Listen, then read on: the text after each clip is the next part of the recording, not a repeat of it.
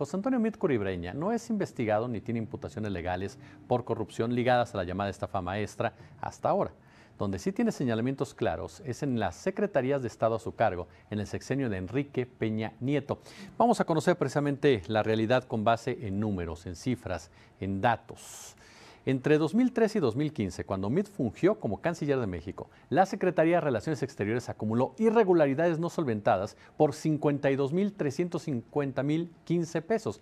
Más adelante, fíjese bien, ya como secretario de Desarrollo Social, la sede sola a su cargo, es decir, de 2015 a 2016, quedó, quedó a deber la aclaración de 2.337 millones 294.687 pesos. Y bajo su administración durante 2016 a 2017, la Secretaría de Hacienda y Crédito Público también causó probables daños a la Hacienda Pública Federal por 590 millones 76.743 pesos. Esto según datos de la Auditoría Superior de la Federación y del portal, sin embargo.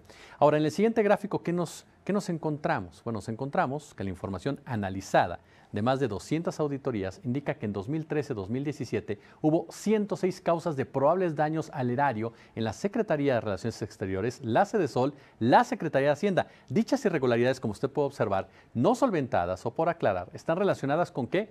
Pagos anómalos, daños materiales, deficiencias administrativas, omisiones contables, incumplimientos eh, contractuales. Vamos con el siguiente gráfico, si son tan, tan amables. José Antonio Mirko Ribreña estuvo a cargo de la Sede Sol entre agosto del 2015 y septiembre del 2016. Bueno, en ese par de años, el monto de las irregularidades no solventadas, hablamos de casi 3 mil millones de pesos, bueno, prácticamente prácticamente superaron el presupuesto ejercido en el programa de fomento a la economía social que era de 2.600 millones. ¿Cuál era la finalidad de este programa? Bueno, invertir en proyectos productivos que contribuyan a mejorar el ingreso de las personas en una situación de pobreza, es decir, se le dio más importancia a las irregularidades que a combatir la pobreza. En el siguiente gráfico, ¿con qué, nos, ¿con qué nos topamos? En nuestro cuarto gráfico.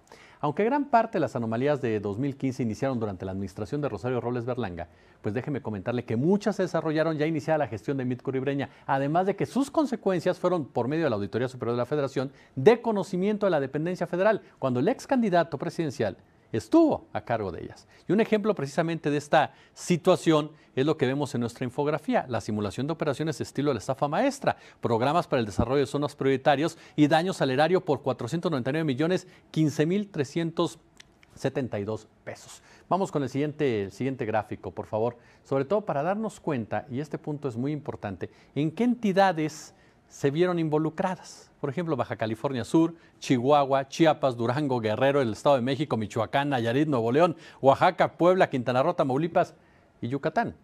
Todas parte de este rosario de calamidades.